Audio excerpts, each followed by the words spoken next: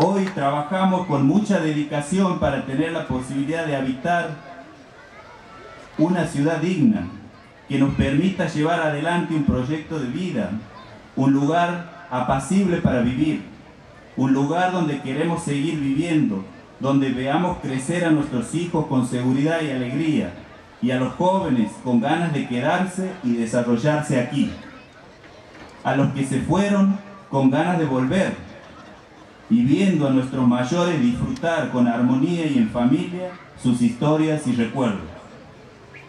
Sin lugar a duda que no es, no es fácil, sin lugar a duda que no es fácil. Quiero decirle que no es fácil, que hay muchas dificultades, más aún en estos tiempos difíciles que hoy vivimos. Les agradezco enormemente por estar acá presente, por estar acá en este lugar, en este evento, junto a las banderas, junto a los niños que están junto a nosotros, que sin duda es,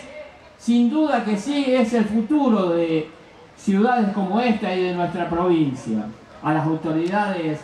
de seguridad, a, instituciones sociales, deportivas, a las academias de danza, de folclore, a todo el pueblo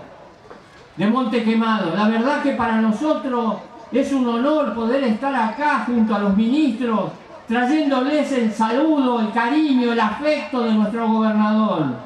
Verdaderamente, sin duda para todos fue un honor poder compartir esa bandera que el pueblo ha elegido como propia, poder entregársela a la comunidad educativa, a los docentes. Me parece fundamental ese compromiso con los colores de nuestra patria, con eh, una imagen de nuestro monte y una herramienta de trabajo.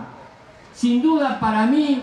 también es un honor, es un orgullo poder estar acá y compartir con el intendente, pero fundamentalmente con toda la comunidad por las obras que se han concretado, las obras hídricas, las obras de infraestructura para la ciudad, las obras en educación, los programas, sin duda que sí, todo eso es, fue posible y se concretó, pero aún falta. Miren, sin duda que para adelante el desafío es poder concretar mejoras para esta ciudad